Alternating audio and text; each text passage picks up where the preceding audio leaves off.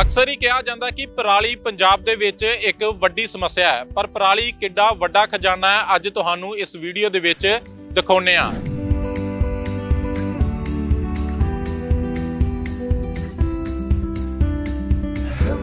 ਇਸ ਸਮੇਂ ਅਸੀਂ ਜਿਸ ਜਗ੍ਹਾ ਦੇ ਉੱਪਰ ਮੌਜੂਦ ਹਾਂ, ਇੱਥੇ ਪਰਾਲੀ ਤੋਂ ਬਿਜਲੀ ਤਿਆਰ ਕੀਤੀ ਜਾਂਦੀ ਹੈ।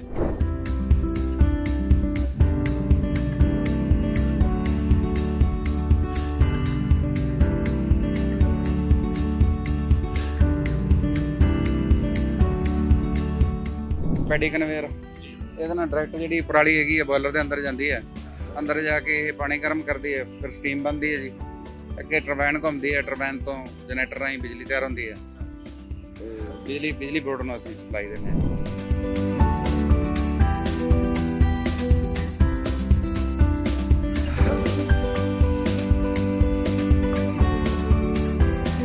ਚੌਵੀ ਘੰਟਿਆਂ ਦਾ ਲੱਗੇ ਜੀ ਆਪਾਂ ਅਹ, ਡੇਢ ਕੁ ਲੱਖ ਯੂਨਿਟ ਤਿਆਰ ਹੋ ਜਾਂਦੀ ਹੈ ਜੀ। ਔਰ ਇਹ ਵਧੀਆ ਬਿਜ਼ਨਸ ਹੈ। ਇੱਕ ਮਸ਼ੀਨ ਜਿਹੜੀ ਹੈਗੀ ਹੈ ਬੇਲਰ ਮਸ਼ੀਨ ਆ ਉਹਦੇ ਤੇ 20 ਤੋਂ 25 ਬੰਦੇ ਲੇਬਰ ਦੇ ਕੰਮ ਕਰਦੇ ਆ। ਇਹ ਪੰਜ ਸੱਤ ਡਰਾਈਵਰ ਹੁੰਦੇ ਆ ਜੀ ਮਸ਼ੀਨ ਤੇ ਫਿਰ ਟਰੈਕਟਰ ਟਰਾਲਿਆਂ ਵਾਲੇ ਡਰਾਈਵਰ ਆ ਗਏ ਜੀ। ਕਾਫੀ ਬੰਦਿਆਂ ਨੂੰ ਜਿਹੜੇ ਹੈਗੇ ਇਹਦੇ ਦਾ ਫਾਇਦਾ ਮਿਲਦਾ ਜੀ।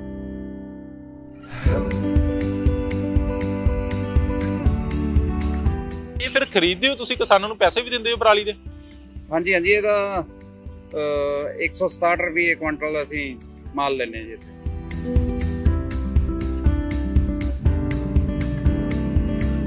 ਜਿਹਦੇ ਕੋਈ ਵੈਲਿਊ ਨਹੀਂਗੀ ਉਹਦੇ ਨਾਲ ਇੱਕ ਪਾਵਰ ਜਨਰੇਟ ਹੋਊਗੀ, ਲੋਕਾਂ ਨੂੰ ਰੁਜ਼ਗਾਰ ਮਿਲੂਗਾ, ਕੰਮ ਦੇ ਜਿਹੜੇ ਹੈਗੇ ਆ ਮਤਲਬ ਸਾਧਨ ਹੋਰ ਵਧਣਗੇ, ਉਹਨਾਂ ਚੀਜ਼ਾਂ ਦਾ ਤਾਂ ਬੈਨੀਫਿਟ ਹੀ ਆ ਜੀ। ਸਾਨੂੰ ਜਿਹੜੀਆਂ ਸਾਡੇ ਲੋਕ ਬੱਚੇ ਬਾਹਰ ਨੂੰ ਦੌੜਦੇ ਆ, ਘੱਟ ਦੌੜਨਗੇ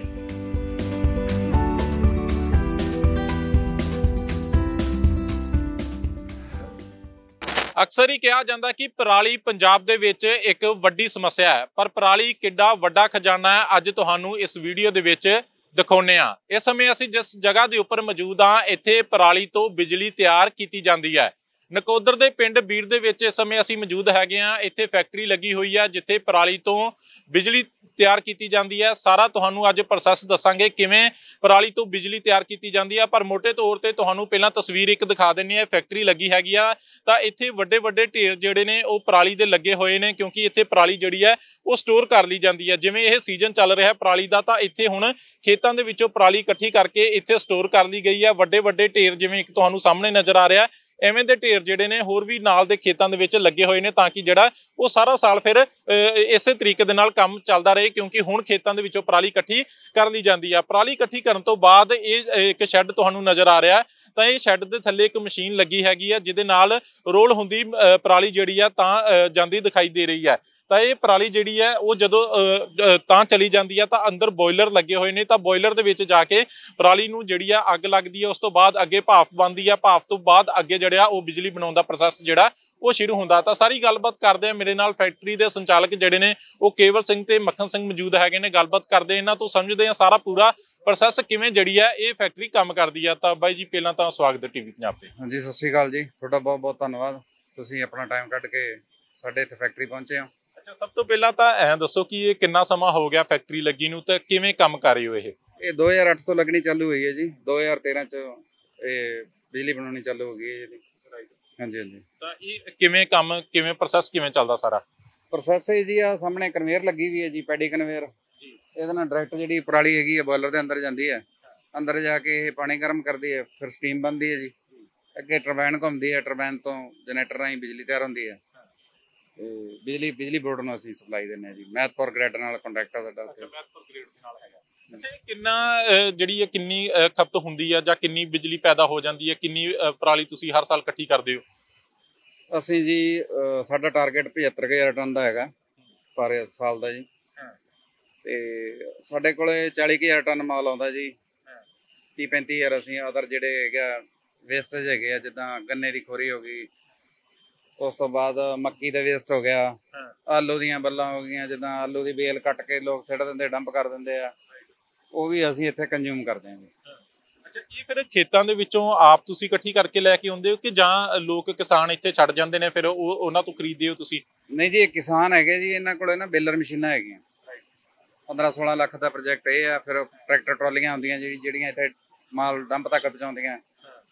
ਤੇ ਇਹ ਹਰ ਪਿੰਡ ਦੇ ਵਿੱਚ ਜਿੱਦਾਂ ਦੋ ਦੋ ਤਿੰਨ ਤਿੰਨ ਬੰਦੇ ਦੋ ਦੋ ਤਿੰਨ ਤਿੰਨ ਮਸ਼ੀਨਾਂ ਹੈਗੀਆਂ ਜੀ ਤੇ ਵਧੀਆ ਬਿਜ਼ਨਸ ਕਰਦੇ ਆ ਤੇ ਸਾਡੇ ਨਾਲ ਇਹਨਾਂ ਦਾ ਕੰਟੈਕਟ ਹੁੰਦਾ ਜੀ ਤੇ ਇਹ ਸਾਨੂੰ ਜਿਹੜੀ ਸਪਲਾਈ ਦਿੰਦੇ ਆ। ਅੱਛਾ ਇਹ ਫਿਰ ਖਰੀਦਦੇ ਹੋ ਤੁਸੀਂ ਕਿਸਾਨਾਂ ਨੂੰ ਪੈਸੇ ਵੀ ਦਿੰਦੇ ਹੋ ਪਰਾਲੀ ਦੇ? ਹਾਂਜੀ ਹਾਂਜੀ ਇਹਦਾ ਅ 167 ਰੁਪਏ ਕੁਇੰਟਲ ਅਸੀਂ ਮਾਲ ਲੈਨੇ ਜੀ ਇੱਥੇ। ਅੱਛਾ ਇੱਕ ਕੁਇੰਟਲ ਦਾ 167 ਰੁਪਏ। ਹਾਂਜੀ ਹਾਂਜੀ 167 ਰੁਪਏ ਤੋਂ ਉੱਪਰ ਕਿਲੋ ਜਿਹੜੀ ਪਰਾਲੀ ਉਹ ਪੈਕ ਹਾਂਜੀ ਹਾਂਜੀ 167 ਰੁਪਏ ਕੁਇੰਟਲ। ਅੱਛਾ ਇਹ ਫਿਰ ਜਿਵੇਂ ਤੁਹਾਡੇ ਏਰੀਆ ਦੇ ਵਿੱਚ ਤਾਂ ਇਹ ਫੈਕਟਰੀ ਲੱਗੀ ਹੋਈ ਹੈ। ਆਮ ਤੌਰ ਤੇ ਸਮੱਸਿਆ ਅਸੀਂ ਦੇਖਦੇ ਹਾਂ ਕਿ ਪਰਾਲੀ ਨੂੰ ਅੱਗ ਲਾਉਣ ਦੀ ਸਮੱਸਿਆ ਜਿਹੜੀ ਹੈ ਉਹ ਬੜੀ ਹੈ। ਹਰ ਵਾਰ ਅਪੀਲਾਂ ਵੀ ਕਰਦੀਆਂ ਨੇ ਸਰਕਾਰਾਂ। ਤਾਂ ਇਹ ਫਿਰ ਜਿੱਥੇ ਜਿੱਥੇ ਫੈਕਟਰੀ ਦੀ ਪਹੁੰਚ ਪੈਂਦੀ ਹੈ ਕਿਸਾਨਾਂ ਦੀ ਉੱਥੇ ਫਿਰ ਅੱਗ ਤਾਂ ਨਹੀਂ ਲਾਉਂਦੇ ਹੋਣਗੇ ਕਿਸਾਨ? ਨਹੀਂ ਜੀ ਫਿਰ ਵੀ ਕਦੇ ਮਤਲਬ ਕਿਸਾਨ ਜਿਹੜੇ ਹੈਗੇ ਆ ਉਹ ਕਾਲੀ ਕਰਦੇ ਥੋੜਾ ਜਿਹਾ। 10-15 ਦਿਨਾਂ ਦਾ ਮਤਲਬ ਹੁੰਦਾ ਜੀ ਸਿਸਟਮ ਇਹ। ਤੇ ਹਰੇਕ ਬੰਦੇ ਨੂੰ ਚਾਹੀਦਾ ਹੈ ਕਿ ਅੱਗ ਘੱਟ ਤੋਂ ਘੱਟ ਲੱਗੀ, ਲਾਈ ਜਾਵੇ। ਜਿਹੜੀ ਆਉਣ ਵਾਲੀ ਜਨਰੇਸ਼ਨ ਹੈਗੀ ਸਾਡੀ ਵਧੀਆ ਪੋਲੂਸ਼ਨ ਤੋਂ ਰਹਿਤ ਹੋਵੇ। ਤੇ ਅੱਗ ਨਹੀਂ ਲਾਉਣੀ ਚਾਹੀਦੀ, ਫਿਰ ਵੀ ਕਿਸਾਨ ਕਈ ਲਾਉਂਦੇ ਆ, ਤੇ ਮੈਂ ਉਹਨੂੰ ਗਲਤ ਸਮਝਦਾ। ਤੇ ਵੱਧ ਤੋਂ ਵੱਧ ਜਿਹੜੀ ਪਰਾਲੀ ਦੀਆਂ ਗੱਠਾਂ ਬਣਾ ਕੇ ਸਾਡੇ ਕੋਲੇ ਪਹੁੰਚ ਕਰਨ, ਸਾਡਾ ਵੀ ਟਾਰਗੇਟ ਪੂਰਾ ਹੁੰਦਾ ਔਰ ਇਹ ਵਧੀਆ ਬਿਜ਼ਨਸ ਹੈ। ਇੱਕ ਮਸ਼ੀਨ ਜਿਹੜੀ ਹੈਗੀ ਹੈ ਬੇਲਰ ਮਸ਼ੀਨ ਆ, ਉਹਦੇ ਤੇ 20 ਤੋਂ 25 ਬੰਦੇ ਲੇਬਰ ਦੇ ਕੰਮ ਕਰਦੇ ਆ। ਇਹ ਪੰਜ ਸੱਤ ਡਰਾਈਵਰ ਹੁੰਦੇ ਜੀ ਮਸ਼ੀਨ ਤੇ ਫਿਰ ਟਰੈਕਟਰ ਟਰਾਲਿਆਂ ਵਾਲੇ ਡਰਾਈਵਰ ਆ ਗਏ ਜੀ। ਕਾਫੀ ਬੰਦਿਆਂ ਨੂੰ ਜਿਹੜੇ ਹੈਗੇ ਇਹਦੇ ਦਾ ਫਾਇਦਾ ਮਿਲਦਾ ਜੀ। ਤੇ ਸਾਡੇ ਵੀ ਇੱਥੇ ਹੁਣ 60 ਤੋਂ 70 ਬੰਦੇ ਕੰਮ ਕਰਦੇ ਆ ਜੀ ਇਸ ਟਾਈਮ 24 ਘੰਟਿਆਂ ਦੇ ਵਿੱਚ 60 ਤੋਂ 70 ਬੰਦੇ ਇੱਥੇ ਕੰਮ ਕਰਦੇ ਆ। ਉਹਨਾਂ ਨੂੰ ਵੀ ਨੌਕਰੀਆਂ ਮਿਲੀਆਂ ਹੋਈਆਂ। ਵਧੀਆ ਆਪਦਾ ਉਹ ਵੀ ਕੰਮ ਕਰਦੇ ਆ ਗੈਪ ਕਿੱਥੇ ਤੁਸੀਂ ਮਹਿਸੂਸ ਕਰਦੇ ਹੋ ਕਿ ਅੱਗ ਕਿਸਾਨ ਨੂੰ ਕਿਉਂ ਲਾਉਣੀ ਪੈਂਦੀ? ਕਿਉਂਕਿ ਹੁਣ ਤਾਂ ਫਿਰ ਜਿਵੇਂ ਤੁਸੀਂ ਵੀ ਪੈਸੇ ਦਿੰਦੇ ਹੋ ਕੁਆਂਟਲ ਦੇ 167 70 ਰੁਪਏ ਤੁਸੀਂ ਦੇਤੇ ਤਾਂ ਫਿਰ ਦਿੱਕਤ ਕਿੱਥੇ ਹੁੰਦੀ ਕਿਸਾਨਾਂ ਨੂੰ? ਖੇਤਾਂ ਦੇ ਵਿੱਚ ਪਰਾਲੀ ਕੱਟਣ 'ਚ ਦਿੱਕਤ ਆਉਂਦੀ ਹੈ ਜਾਂ ਅੱਗ ਵਾਲੇ ਪਾਸੇ ਕਿਉਂ ਜਾਂਦੇ ਫਿਰ? ਸਰ ਝੋਨਾ ਲਾਉਣ ਦਾ ਇੱਕ ਤਿਥੀ ਸਰਕਾਰ ਵੱਲੋਂ ਦਿੱਤੀ ਜਾਂਦੀ ਵੀ ਇਸ ਤਰੀਕ ਤੋਂ ਪਹਿਲਾਂ ਝੋਨਾ ਨਹੀਂ ਲੱਗਣਾ। ਇੱਕ ਵੀ ਸਾਈਡ ਝੋਨੇ ਦਾ ਨਹੀਂ ਲੱਗਦਾਗਾ ਇਸੇ ਤਰ੍ਹਾਂ ਪਰਾਲੀ ਦਾ ਵੀ ਇੱਕ ਥੋੜਾ ਜਿਹਾ ਟਾਰਗੇਟ ਦਿੱਤਾ ਜਾਵੇ ਵੀ ਕਿਸਾਨ ਜਿਹੜੇ ਫੈਕਟਰੀ ਦੇ ਆਲੇ ਦੁਆਲੇ ਤਾਂ ਬਿਲਕੁਲ ਵੀ ਅੱਗ ਨਹੀਂ ਲੱਗਣੀ ਚਾਹੀਦੀਗੀ ਸਰਕਾਰ ਇਹ ਕਵੇ ਵੀ ਫੈਕਟਰੀ ਦੇ ਆਲੇ ਦੁਆਲੇ ਇੰਨੇ ਦੇਰੇ ਦੇ ਵਿੱਚ ਅੱਗ ਨਹੀਂ ਲੱਗਣੀ ਚਾਹੀਦੀ। ਤੇ ਹੋਰ ਵੀ ਜਿਹੜੀਆਂ ਫੈਕਟਰੀਆਂ ਹੈਗੀਆਂ, ਜਿਹੜੀਆਂ ਪਾਵਰ ਪਲਾਂਟ ਆ ਜਾਂ ਪ੍ਰੋਸੈਸ ਪਲਾਂਟ ਹੈਗੇ ਆ ਬੋਇਲਰ ਇਦਾਂ ਹੀ ਚੱਲਦੇ ਜੀ ਸਾਰੇ ਹੀ। ਪਰਾਲੀ ਤੋਂ ਬੋਇਲਰ ਲਾ ਸਕਦਾ ਜੀ, ਤੇ ਪ੍ਰੋਸੈਸ ਪਲਾਂਟ ਵੀ ਦਿੱਤੇ ਜਾਣ।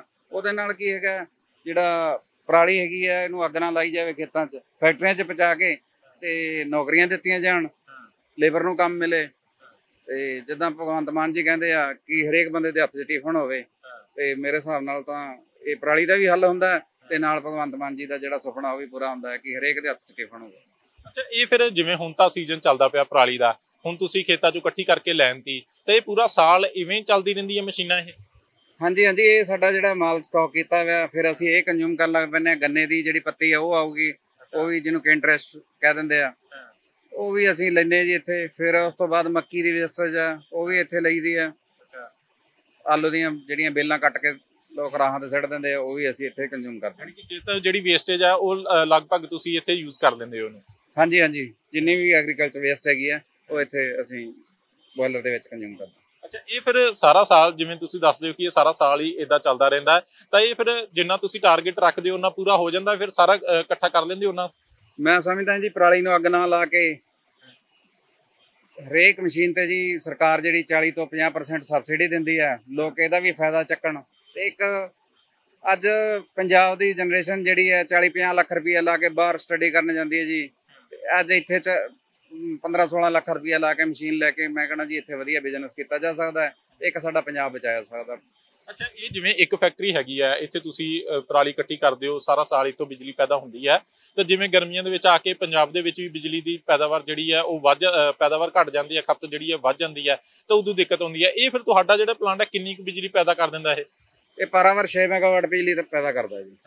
ਯਾਨੀ ਕਿ ਮਹੀਨੇ ਦੀ ਕਿੰਨੀ ਕੁ ਬਣ ਜਾਂਦੀ 24 ਘੰਟਿਆਂ ਦਾ ਲੱਗੇ ਜੀ ਆਪਾਂ ਅਹ, ਡੇਢ ਕੁ ਲੱਖ ਯੂਨਿਟ ਤਿਆਰ ਹੋ ਜਾਂਦੀ ਹੈ ਜੀ। ਅੱਛਾ 1.5 ਲੱਖ ਯੂਨਿਟ ਇੱਥੋਂ ਤਿਆਰ ਹੋ ਜਾਂਦੀ ਹੈ। ਤਾਂ ਇਵੇਂ ਦਾ ਫਿਰ ਪਲਾਂਟ ਹੋਰ ਵੀ ਲਗਾਏ ਹੋਏ ਨੇ ਤੁਸੀਂ ਪੰਜਾਬ ਦੇ ਕੁਝ ਹਿੱਸਿਆਂ 'ਚ ਸਾਡੇ ਜਿਹੜੇ ਤਿੰਨ ਪਲਾਂਟ ਹੈਗੇ ਜੀ। ਇੱਕ ਹੁਸ਼ਿਆਰਪੁਰ ਚ ਬਿੰਜੋ ਪਿੰਡ ਇੱਕ ਨਕੋਦਰ ਦੇ ਵਿੱਚ ਵੀਰ ਪਿੰਡ। ਇੱਕ ਪਲਾਂਟ ਸਾਡਾ ਮੋਗੇ ਕੋਲੇ ਹੈ ਜੀ ਬਾਗਾ ਪੁਰਾਣਾ ਨਿਹਾਲ ਸਿੰਘ ਵਾਲਾ ਰੋਡ ਤੇ ਮਾਣੂਕੇ ਗਿੱਲ। ਉਹ ਸਾਡਾ ਜੀ ਕਿਸੇ ਕਾਰਨ ਵਜੋਂ ਡਿਲੇ ਹੋ ਗਿਆ। ਤੇ ਹੁਣ ਸਰਕਾਰ ਸਾਨੂੰ ਪਿਛਲੀਆਂ ਸਰਕਾਰਾਂ ਨੇ ਅਨੁਮਤੀ ਨਹੀਂ ਦਿੱਤੀ। ਤੇ ਤੁਹਾਡੇ ਜਰੀਏ ਅਸੀਂ ਭਗਵੰਤ ਮਾਨ ਜੀ ਨੂੰ ਬੇਨਤੀ ਕਰਦੇ ਹਾਂ ਕਿ ਸਾਡੀ ਫੈਕਟਰੀ ਨੂੰ ਚਲਾਉਣ ਦੀ ਅਨੁਮਤੀ ਦਿੱਤੀ ਜਾਵੇ। ਤੇ ਬਿਲਕੁਲ ਤਿਆਰ ਹੈ ਜੀ ਪਲਾਂਟ। ਬਿਜਲੀ ਅਸੀਂ ਬਣਾ ਕੇ ਗ੍ਰਿਡ 'ਚ ਭੇਜੀ ਵੀ ਆ ਤੇ ਉਹ ਵੀ ਸਾਡਾ ਪਲਾਂਟ ਜਿਹੜਾ ਹੈਗਾ ਚਲਾਉਣ ਦੀ ਸਾਨੂੰ ਅਨੁਮਤੀ ਦਿੱਤੀ ਜਾਵੇ। ਤੇ ਸਾਡੇ ਨਾਲ ਰੇਟ ਜੋ ਦੂਜੇ ਫੈਕਟਰੀਆਂ ਨੂੰ ਦਿੰਦੇ ਆ ਉਹ ਵੀ ਸਾਨੂੰ ਰੇਟ ਦੇ ਕੇ ਫੈਕਟਰੀ ਆਮ ਚਲਾਈ ਹੀ ਲੋਕਾਂ ਦੀ ਭਾਸ਼ਾ ਦੇ ਵਿੱਚ ਹੀ ਮੈਂ ਗੱਲ ਕਰਦਾ ਆਮ ਹੀ ਜਦੋਂ ਗਰਮੀਆਂ ਦੇ ਵਿੱਚ ਲੋਕੀ ਅਖਬਾਰਾਂ ਦੇ ਵਿੱਚ ਪੜ੍ਹਦੇ ਨੇ ਕਿ ਪੰਜਾਬ ਦੇ ਵਿੱਚ ਖਪਤ ਜਿਹੜੀ ਆ 10000 ਤੇ ਪਹੁੰਚ ਗਈ 12000 ਮੈਗਾਵਾਟ ਤੇ ਪਹੁੰਚ ਗਈ ਪੰਜਾਬ ਦੇ ਵਿੱਚ ਇਹ ਪਾਵਰ ਪਲਾਂਟ ਹੈਗਾ ਇਹ 2000 ਮੈਗਾਵਾਟ ਬਿਜਲੀ ਪੈਦਾ ਕਰਦਾ ਜਾਂ 1500 ਮੈਗਾਵਾਟ ਬਿਜਲੀ ਪੈਦਾ ਕਰਦਾ ਤਾਂ ਇਹ ਉਸ ਭਾਸ਼ਾ ਦੇ ਵਿੱਚ ਕਿੰਨੀ ਮੈਗਾਵਾਟ ਕਰਦਾ ਬਿਜਲੀ? ਇਹ ਜੀ ਤੁਹਾਨੂੰ ਦੱਸਿਆ ਜੀ 6 ਮੈਗਾਵਾਟ ਪਰ ਆਵਰ ਹੈ ਜੀ ਹਾਂਜੀ ਹਾਂਜੀ। ਉਸ ਤਰੀਕੇ ਦੇ ਨਾਲ ਇਹ ਬਿਜਲੀ ਪੈਦਾ ਹੋ ਹਾਂਜੀ ਹਾਂਜੀ। ਅੱਛਾ ਇਹ ਫਿਰ ਜਿਵੇਂ ਇਹ ਪੰਡਾਂ ਵੱਜੀਆਂ ਹੋਈਆਂ ਨੇ ਤੇ ਇਵੇਂ ਜਾਂਦੀ ਹੈ ਕਿ ਜਾਂ ਖੁੱਲੀ ਵੀ ਪਰਾਲੀ ਇਹ ਚ ਸੁੱਟੀ ਜਾਂਦੀ ਹੈ? ਨਹੀਂ ਖੁੱਲੀ ਨਹੀਂ ਜਾਂਦੀ ਜੀ ਇਹਦੇ ਫਿਰ ਨਾ ਫਲਫੀ ਜੀ ਹੁੰਦੀ ਹੈ ਉਹ ਫਿਰ ਪੂਰੀ ਜਿਹੜੀ ਕੁਆਂਟੀਟੀ ਹੈ ਬੋਇਲਰ ਤੱਕ ਪਹੁੰਚਦੀ ਨਹੀਂਗੀ ਇਸ ਕਰਕੇ ਇਹਦੀਆਂ ਗੱਠਾਂ ਬਣਾ ਕੇ ਹੀ ਅਸੀਂ ਇਹਨੂੰ ਬੋਇਲਰ 'ਚ ਲੈ ਕੇ ਜਾਂਦੇ ਅੱਛਾ ਇਹ ਇਥੋਂ ਜਲ ਚਲੇਗੀ ਅੰਦਰ ਬੋਇਲਰ ਅੱਗੇ ਅੱਗ ਵੀ ਬਲਦੀ ਪਈ ਹੈ। ਤਾਂ ਉਸ ਤੋਂ ਬਾਅਦ ਫਿਰ ਇਹ ਭਾਫ ਬਣਦੀ ਇੱਥੋਂ ਹੀ? ਹਾਂਜੀ ਹਾਂਜੀ ਪਾਸੇ ਪਾਸੇ ਪਾਣੀ ਦੇ ਵਾਟਰ ਵਾਲ ਹੈਗੇ ਆ ਉਹ ਪਾਣੀ ਗਰਮ ਹੋ ਕੇ ਸਟੀਮ ਬਣਦੀ ਹੈ ਫਿਰ। ਸਟੀਮ ਬਣ ਕੇ ਤੇ ਅੱਗੇ ਟਰਬਾਈਨ ਕਿੱਧਰ ਲੱਗੀ ਹੋਈ ਹੈ? ਟਰਬਾਈਨ ਇਧਰ ਆਪਣੇ ਟਰਬਾਈਨ ਲੱਗੀ ਜੀ ਸਾਹਮਣੇ ਟਰਬਾਈਨ ਫਲੋਰ ਹੈਗਾ ਤੇ ਟਰਬਾਈਨ ਲੱਗੀ ਹੈ ਜਨਰੇਟਰ ਨਾਲ ਬਿਜਲੀ ਤਿਆਰ ਹੋ ਕੇ ਗ੍ਰਿਡ ਨੂੰ ਸਪਲਾਈ ਜਾਂਦੀ ਹੈ। ਅੱਛਾ ਅੱਗੇ ਗ੍ਰੇਡ 'ਚ ਚਲੀ ਗਈ ਤਾਂ ਇੱਕ ਥੱਲੇ ਜਿਹੜਾ ਕੰਟਰੋਲ ਰੂਮ ਬਣਾਇਆ ਉੱਥੋਂ ਸਾਰਾ ਇਹ ਮੈਨੇਜ ਕੀਤਾ ਜਾਂਦਾ? ਜਿੰਨੀਆਂ ਵੀ ਬਾਹਰ ਮੋਟਰਾਂ ਚੱਲਦੀਆਂ ਜੀ ਜਾਂ ਪਿੱਛੇ ਮੋਟਰਾਂ ਚੱਲਦੀਆਂ ਸਾਰੀਆਂ ਉੱਥੇ ਕੰਟਰੋਲ ਹੁੰਦੀਆਂ ਅੱਛਾ ਉੱਥੋਂ ਪਤਾ ਲੱਗਦਾ ਰਹਿੰਦਾ ਕਿ ਕਿੰਨੀ ਬਿਜਲੀ ਪੈਦਾ ਹੋ ਰਹੀ ਹੈ ਜਾਂ ਕਿੰਨੀ ਕਿਵੇਂ ਚੱਲ ਰਿਹਾ ਸਾਰਾ? ਹਾਂਜੀ ਹਾਂਜੀ ਉੱਥੇ ਸਾਰਾ ਹੀ ਹੈਗਾ ਡਿਸਪਲੇ ਤੇ ਆਉਂਦਾ ਰਹਿੰਦਾ ਸਾਰਾ ਕੁਝ ਤੇ EMPLOYEES ਹੈਗੇ ਸਾਡੇ ਜਿਹੜੇ ਉਹ ਦੇਖਦੇ ਆ। ਉਹੀ ਕੰਟਰੋਲ ਕਰਦੇ ਆ ਫਿਰ 24 ਘੰਟੇ ਇੱਥੇ ਨਿਗਰਾਨੀ ਇੱਦੇ ਰੱਖਣੀ ਪੈਂਦੀ ਹੋਣੀ ਹੈ? ਹਾਂਜੀ ਹਾਂਜੀ। ਅਲੱਗ-ਅਲੱਗ ਸ਼ਿਫਟਾਂ ਨੇ। ਅਲੱਗ-ਅਲੱਗ ਸ਼ਿਫਟਾਂ ਦੇ ਵਿੱਚ EMPLOYEES ਆਉਂਦੇ ਆ ਤੇ ਆਪਦੀ ਡਿਊਟੀ ਨਿਭਾਉਂਦੇ ਆ। ਅੱਛਾ ਇਹ ਫਿਰ ਜਿਹੜੀ ਬਿਜਲੀ ਇੱਥੋਂ ਤੁਹਾਡੇ ਤੋਂ ਪੈਦਾ ਹੋ ਗਈ ਤਾਂ ਇਹ ਡਾਇਰੈਕਟ ਪੰਜਾਬ ਸਰਕਾਰ ਖਰੀਦੀ ਹੈ ਤੁਹਾਡੇ ਤੋਂ? ਹਾਂਜੀ ਹਾਂਜੀ। ਡਾਇਰੈਕਟ ਬਿਜਲੀ ਬੋਰਡ ਨੂੰ ਸਪਲਾਈ ਦਿੰਦੇ ਆ। ਅੱਛਾ ਭਾਈ ਜੀ ਇਹ ਕਿਵੇਂ ਦੇਖਦੇ ਹੋ ਕਿ ਜੇਕਰ ਵਾਕਈ ਇਦਾਂ ਦੇ ਜਾਂ ਪਾਵਰ ਪਲਾਂਟ ਜਾਂ ਹੋਰ ਤਰੀਕੇ ਦੀਆਂ ਇਦਾਂ ਫੈਕਟਰੀਆਂ ਲਾਈਆਂ ਜਾਣ ਤਾਂ ਤਾਂ ਕਿ ਜਿਹੜੀ ਪਰਾਲੀ ਜਿਹੜੀ ਕਈ ਕਿਸਾਨਾਂ ਨੂੰ ਇਹ ਦਿੱਕਤ ਆਉਂਦੀ ਕਿ ਉੱਥੋਂ ਤੱਕ ਪਹੁੰਚ ਹੀ ਨਹੀਂ ਪਾਉਂਦੀ? ਦੇਖੋ ਜੀ ਜੇ ਇਹੋ ਜਿਹੇ ਪ੍ਰੋਸੈਸ ਹੋਰ ਵੀ ਲਾਏ ਜਾਣ ਪਲਾਂਟ ਹੋਰ ਲਾਏ ਜਾਣ, ਜਿਹੜੀ ਮਤਲਬ ਬਿਲਕੁਲ ਵੇਸਟੇਜ ਆ, ਜਿਹਦੇ ਕੋਈ ਵੈਲਿਊ ਨਹੀਂਗੀ, ਉਹਦੇ ਨਾਲ ਇੱਕ ਪਾਵਰ ਜਨਰੇਟ ਹੋਊਗੀ, ਲੋਕਾਂ ਨੂੰ ਰੋਜ਼ਗਾਰ ਮਿਲੂਗਾ, ਕੰਮ ਦੇ ਜਿਹੜੇ ਹੈਗੇ ਆ ਮਤਲਬ ਸਾਧਨ ਹੋਰ ਵਧਣਗੇ, ਉਹਨਾਂ ਚੀਜ਼ਾਂ ਦਾ ਤਾਂ ਬੈਨੀਫਿਟ ਹੀ ਆ ਜੀ। ਸਾਨੂੰ ਜਿਹੜੀਆਂ ਸਾਡੇ ਲੋਕ ਬੱਚੇ ਬਾਹਰ ਨੂੰ ਦੌੜਦੇ ਆ, ਘੱਟ ਦੌੜਨਗੇ, ਲੋਕਾਂ ਨੂੰ ਰੋਜ਼ਗਾਰ ਦੇ ਸਾਧਨ ਵਧਣਗੇ, ਆਮਦਨ ਦੇ ਸਾਧਨ ਵਧਣਗੇ ਉਹ ਚੰਗੀ ਚੀਜ਼ ਹੈ ਜੀ। ਸਰਕਾਰ ਨੂੰ ਇਧਰਲੇ ਬੰਨੇ ਜ਼ਿਆਦਾ ਧਿਆਨ ਦੇਣਾ ਚਾਹੀਦਾ। ਜੋ ਵੀ ਰਹਿੰਦ ਖੂੰਦ ਆ ਉਹਦੇ ਤੋਂ ਜੋ ਵੀ ਕੁਝ ਅੱਗੇ ਮਤਲਬ ਹੋ ਸਕਦਾ ਆ ਪਾਵਰ ਜਨਰੇਟ ਹੋ ਸਕਦੀ ਆ ਤੇ ਮਤਲਬ ਉਹਦਾ ਬੈਨੀਫਿਟ ਹੈ ਜੀ। ਅੱਛਾ ਇਹ ਲਾਗੇ ਚਾਗੇ ਪਿੰਡਾਂ 'ਚ ਤਾਂ ਮੈਨੂੰ ਲੱਗਦਾ ਕਿ ਆਪਣੇ ਆਪ ਕਈ ਲੋਕ ਸੁੱਟ ਜਾਂਦੇ ਹੋਣਗੇ ਆ ਕੇ ਇੱਥੇ ਪਰਾਲੀ ਦੇ। ਨਹੀਂ ਜੀ ਆਮ ਲੋਕ ਥੋੜੀ ਬਹੁਤੀ ਜਿਵੇਂ ਸਰੋਂ ਵਗੈਰਾ ਦਾ ਥੋੜੀ ਥੋੜੀ ਜਿਹੜੀ ਛੋਟੀਆਂ ਆ ਇਹ ਮਤਲਬ ਜਿਹਦੀ ਵਾਧੂ ਹੈਗਾ ਮਾਲ ਕੋਈ ਕਣਕ ਦੀ ਵਾਧੂ ਦੀ ਵੇਸਟੇਜ ਆ ਕੋਈ ਇਹਦੀ ਲਾ ਲਓ ਮੱਕੀ ਦੀ ਹੋ ਗਈ ਜਾਂ ਜਿਹੜੀ ਵੀ ਫਸਲ ਦੀ ਵੇਸਟੇਜ ਆ ਉਹ ਛੱਡ ਜਾਂਦੇ ਆ। ਪਰ ਉਹ ਕੁਆਂਟੀਟੀ ਉਹਨਾਂ ਦੀ ਬਹੁਤ ਥੋੜੀ ਹੁੰਦੀ ਆ। ਮੇਨ ਕੁਆਂਟੀਟੀ ਜਿਹੜੀ ਹੈਗੀ ਆ ਲੋਕਾਂ ਨੇ ਬੇਲਰ ਮਸ਼ੀਨਾਂ ਲਈਆਂ ਆ। ਉਹ ਜਿਹੜੀਆਂ ਬੇਲਰ ਮਸ਼ੀਨਾਂ ਮਤਲਬ ਉਹ ਬੇਲ ਬੇਲ ਮੀਨਸ ਇੱਕ ਦੇਸੀ ਭਾਸ਼ਾ ਪੰਡ। ਫੰਡ ਜਿਵੇਂ ਇਹ ਬਣੀਆਂ ਹੋਈਆਂ। ਇਹ ਜਿਵੇਂ ਬਣੀਆਂ ਆ। ਉਹ ਇਹ ਪੰਡਾਂ ਬਣ ਕੇ ਮਤਲਬ ਉਹ ਇੱਥੇ ਜਿਹੜੇ ਜਿਨ੍ਹਾਂ ਨੇ ਮਸ਼ੀਨਾਂ ਲਈਆਂ ਆ ਉਹ ਇੱਥੇ ਸਪਲਾਈ ਦਿੰਦੇ ਆ। ਆਪਣਾ ਚੰਗਾ ਝੋਖਾ ਜਿਹੜਾ ਹੈਗਾ ਆ ਉਹ ਉਹਨਾਂ ਦੇ ਰੁਜ਼ਗਾਰ ਦੇ ਸਾਧਨ ਬਣੇ ਆ ਤਾਂ ਮਤਲਬ ਉਹਨਾਂ ਨੂੰ ਵੀ ਫਾਇਦਾ। ਜ਼ਿਮੀਂਦਾਰ ਦੇ ਖੇਤ ਵੀ ਖਾਲੀ ਤੇ ਇਧਰੋਂ ਜਿਹੜੀ ਹੈਗੀ ਆ ਪਲਾਂਟ ਦਾ ਵੀ ਬੈਨੀਫਿਟ ਹੈ ਤੇ ਸਰਕਾਰ ਨੂੰ ਵੀ ਜਿਹੜੇ ਹੈਗੇ ਆ ਬੈਨੀਫਿਟ ਹੋ ਰਿਹਾ ਆ ਉਹਨਾਂ ਨੂੰ ਪਾਵਰ ਮਿਲ ਰਹੀ ਆ ਤੇ ਲੋਕਾਂ ਨੂੰ ਰੁਜ਼ਗਾਰ ਦੇ ਸਾਧਨ ਮਿਲ ਰਹੇ ਬੇਲਰ ਮਸ਼ੀਨਾਂ ਆਮ ਹੈਗੀਆਂ ਕਿਸਾਨਾਂ ਕੋ ਪਿੰਡਾਂ ਦੇ ਵਿੱਚ? ਸਾਡੇ ਵੀਰ ਪਿੰਡ ਦੇ ਆਲੇ ਦੁਆਲੇ ਕਾਫੀ ਮਸ਼ੀਨਾਂ ਹੈਗੀਆਂ। ਤੇ ਫਿਰ ਜਿਵੇਂ ਛੋਟੇ ਕਿਸਾਨ ਨੇ, ਉਹ ਵੱਡੇ ਕਿਸਾਨਾਂ ਤੋਂ ਲੈ ਕੇ ਫਿਰ ਇਹ ਉਸ ਤਰੀਕੇ ਨਾਲ ਪਰਾਲੀ ਇਕੱਠੀ ਕਰਾਉਂਦੇ ਹੋਣਗੇ? ਅਮ, ਨਹੀਂ, ਇਹਦੇ ਵਿੱਚ ਛੋਟੇ ਵੱਡੇ ਦਾ ਕੋਈ ਰੌਲਾ ਨਹੀਂਗਾ। ਜਿਹਨੇ, ਅਹ, ਸਰਕਾਰ ਤੋਂ ਸਬਸਿਡੀ ਮੰਗੀ, ਆਪਦੀ ਬੇਲਰ ਮਸ਼ੀਨ ਲਈ, ਮਸ਼ੀਨ ਲੈ ਕੇ ਉਹਨੇ ਆਲੇ ਦੁਆਲੇ ਲੋਕਾਂ ਦੇ ਕੋਲੋਂ ਜਿਹੜਾ ਹੈਗਾ ਆ ਇਹਨੂੰ ਅਹ ਪਰਾਲੀ ਇਕੱਠੀ ਕਰ ਲਈ ਜਾਂ ਗੰਨਾ ਪੱਤੀ ਇਕੱਠੀ ਕਰ ਲਈ। ਉਸ ਤੋਂ ਬਾਅਦ ਮੱਕੀ ਦੀ ਰਹਿੰਦ ਖੂੰਦ ਇਕੱਠੀ ਕਰ ਲਈ। ਉਹਦੀ ਸਪਲਾਈ ਇੱਥੇ ਦੇ ਦਿੱਤੀ ਜ਼ਿਆਦਾਤਰ ਕਿਸਾਨ ਲੋਕਲ ਹੀ ਆਉਂਦੇ ਨੇ ਕਿ ਜਾਂ ਕੋਈ ਕਈ ਵਾਰੀ ਪੰਜਾਬ ਦੇ ਦੂਰੋਂ ਵੀ ਆ ਜਾਂਦਾ ਕੋਈ ਦੇਖ ਕੇ ਕਿ ਪਰਾਲੀ ਸਾਂਭੀ ਜਾਵੇ? ਕੋਈ ਇਹਦੇ ਤੇ ਬੰਦਿਸ਼ ਨਹੀਂ ਗੀ ਜਿੱਥੋਂ ਮਰਜ਼ੀ ਆ ਸਕਦਾ। ਪਰ ਪੰਜਾਬ ਦੇ ਵਿੱਚ ਬਹੁਤ ਇਹੋ ਜਿਹੇ ਬੇਲਰ ਲੱਗੇ ਆ ਸੌਰੀ ਬੋਇਲਰ ਲੱਗੇ ਹੋਏ ਆ ਜਿਹੜੇ ਬੋਇਲਰ ਦੇ ਨਾਲ ਅੱਗੇ ਜਿਹੜੀ ਹੈਗੀ ਆ ਟਰਬਾਈਨ ਨੂੰ ਚਲਾ ਕੇ ਪਾਵਰ ਜਨਰੇਟ ਕਰਦੇ ਆ। ਲੁਧਿਆਣੇ ਦੇ ਏਰੀਏ ਦੇ ਵਿੱਚ ਹੈਗੇ ਆ ਮਲਬਾ ਸਾਈਡ ਦੇ ਵਿੱਚ ਗੱਦਾ ਡੋਗ ਅਹ ਮੁਕਤਸਰ ਵਗੈਰਾ ਵਗੈਰਾ ਕਾਫੀ ਜਗ੍ਹਾ ਹੈਗੇ ਆ। ਤੇ ਉਹ ਜਿੱਥੇ ਜਿਹਨੂੰ ਜਿਹੜਾ ਨੇੜੇ ਪੈਂਦਾ ਆ ਉੱਥੇ ਸਪਲਾਈ ਦਿੰਦਾ ਆ। ਤੇ ਜਿਹੜਾ ਕੋਈ ਇੱਥੇ ਵੀ ਲੈ ਆਵੇ ਤਾਂ ਵੈਲਕਮ ਹੈ ਜੀ। ਅੱਛਾ ਭਾਈ ਜੀ ਆ ਜਾਂਦੇ ਕਈ ਵਾਰੀ ਦੂਰੋਂ ਦੂਰੋਂ ਵੀ ਆ ਜਾਂਦੇ ਲੋਕ? ਹਾਂਜੀ ਹਾਂਜੀ ਜਿੱਦਾਂ ਅੱਜ ਇੱਕ ਹਰਿਆਣੇ ਤੋਂ ਪਾਰਟੀ ਆਈ ਸੀਗੀ ਉਹਨਾਂ ਨੇ ਇੱਥੇ ਲੋਕਲ ਮਸ਼ੀਨਾਂ ਚਲਾਉਣੀਆਂ ਸੀਗੀਆਂ। ਤਾਂ ਕਿਸੇ ਦੀ ਕੋਈ ਬੰਦਿਸ਼ ਨਹੀਂ ਗਈ ਜਿੱਥੋਂ ਮਰਜ਼ੀ ਆ ਸਕਦਾ। ਜਿੱਥੋਂ ਮਰਜ਼ੀ ਆ ਜਾਏ ਤਾਂ ਇਹ ਫਿਰ ਰੇਟ ਫਿਕਸ ਰਹਿੰਦਾ ਕਿ ਜਾਂ ਇਹ ਵੀ ਘਟਦਾ ਵੱਧਦਾ ਰਹਿੰਦਾ? ਨਹੀਂ ਜੀ ਫਿਕਸ ਰੇਟ ਹੁੰਦੇ ਸਾਡੇ। ਅੱਛਾ। ਸੀਜ਼ਨਲੀ ਰੇਟ ਹੁੰਦੇ ਆ ਜਾਂ ਫਿਕਸ ਹੀ ਹੁੰਦੇ ਆ। ਇਹਦੇ ਵਿੱਚ ਮੰਨਦੇ ਤੁਸੀਂ ਕਿ ਵਾਕਈ ਫਾਇਦਾ ਹੁੰਦਾ ਹੀ ਹੈ ਕਿਸਾਨਾਂ ਨੂੰ ਫਿਰ ਜਿਵੇਂ ਫਾਇਦਾ ਹੁੰਦਾ ਜੀ ਜਿਹਦੇ ਕੋਲੇ ਸ਼ੁਰੂ ਦੇ ਵਿੱਚ ਅਸੀਂ ਚਾਰ ਮਸ਼ੀਨਾਂ ਲੋਕਾਂ ਨੂੰ ਕਹਿ ਕਹਿ ਕੇ ਬਣਵਾਈਆਂ। ਅੱਜ ਸਾਡੇ ਏਰੀਆ 'ਚ 40 ਤੋਂ 45 ਮਸ਼ੀਨਾਂ ਹੈਗੀਆਂ। ਤਾਂ ਇਹੀ ਦੇਣਾ ਹੈ ਵੀ ਜੇ ਕਿਸੇ ਨੂੰ ਫਾਇਦਾ ਹੁੰਦਾ ਤਾਂ ਗਾਂ ਵੇਖ ਵੇਖ ਕੇ ਫਿਰ ਅੱਗੇ ਬੰਦਾ ਜਿਹੜਾ ਉਹ ਮਸ਼ੀਨਾਂ ਲੈਂਦਾ। ਅੱਛਾ ਇਹ ਫਿਰ ਜਿਵੇਂ ਮਸ਼ੀਨਾਂ ਵੀ ਕੋਸਟਲੀ ਹੁੰਦੀਆਂ ਨੇ ਤੇ ਇਹ ਸਰਕਾਰ ਸਬਸਿਡੀ ਵਗੈਰਾ ਦਿੰਦੀ ਕਿਸਾਨਾਂ ਨੂੰ? ਹਾਂਜੀ ਹਾਂਜੀ ਤੁਹਾਨੂੰ ਦੱਸਿਆ ਇਹ 'ਚ 40 ਤੋਂ 50% ਇਹਦੇ 'ਚ ਸਬਸਿਡੀ ਹੁੰਦੀ ਆ। ਬਾਕੀ ਜਿਹੜਾ ਹੈਗਾ ਲੋਕ ਜਦੋਂ ਦੋ ਸੀਜ਼ਨ ਲਾ ਲੈਂਦੇ ਆ ਉਹ ਬਿਲਕੁਲ ਫ੍ਰੀ ਆਫ ਕਾਸਟ ਹੋ ਜਾਂਦੀ ਆ ਫਿਰ ਗਾਂ ਕਮਾਈ ਕਮਾਈ ਤਾਂ ਇਹ ਮਹਿਸੂਸ ਕੀਤਾ ਜਾ ਸਕਦਾ ਹੁਣ ਕਿ ਲੋਕੀ ਮੁੜ ਗਏ ਨੇ ਪਰਾਲੀ ਨੂੰ ਅੱਗ ਲਾਉਣ ਵਾਲੇ ਪਾਸਿਓਂ? ਨਹੀਂ ਇਹ ਜ਼ਰੂਰੀ ਹੈ ਜੀ ਮੁੜਨਾ ਹੀ ਚਾਹੀਦਾ ਸਾਨੂੰ। ਸਾਡੇ ਜਿਹੜਾ ਹੈਗਾ ਪੋਲੂਸ਼ਨ ਘਟੂਗਾ ਤੇ ਅਸੀਂ ਜਿਹੜਾ ਧੂਆਂ ਜਿਹੜਾ ਅੱਜ ਦਿੱਲੀ ਵੀ ਰੌਲਾ ਪਾਉਂਦੇ ਸਾਨੂੰ ਵੀ ਧੂਆਂ ਸਾਡੇ ਕੋਲੇ ਤੱਕ ਪਹੁੰਚ ਗਿਆ। ਤੇ ਜਿਹੜਾ ਹੈਗਾ ਵਧੀਆ ਮੌਸਮ ਰਹੂਗਾ ਵਧੀਆ ਵਾਤਾਵਰਨ ਰਹੂਗਾ ਜੀ। ਅੱਛਾ ਅੱਜ ਵੀ ਜਿਵੇਂ ਤੁਸੀਂ ਦੱਸਦੇ ਹੋ ਕਿ ਪੰਜਾਬ ਦੇ ਵਿੱਚ ਹੋਰ ਕਈ ਜਗ੍ਹਾ ਤੇ ਲੱਗੀਆਂ ਤਾਂ ਹੈਗੀਆਂ ਨੇ ਪਰ ਕਈ ਵਾਰੀ ਦੂਰ ਕਰਕੇ ਕਈ ਕਈ ਕਿਸਾਨਾਂ ਦੀ ਪਹੁੰਚ ਤੋਂ ਅਜੇ ਵੀ ਦੂਰ ਹੈਗੀਆਂ ਜਿਵੇਂ ਮਾਝੇ ਏਰੀਆ ਦੇ ਵਿੱਚ ਕਹਿੰਦੇ ਪਰਾਲੀ ਨੂੰ ਜ਼ਿਆਦਾ ਅੱਗ ਲਾਈ ਜਾਂਦੀ ਹੈ।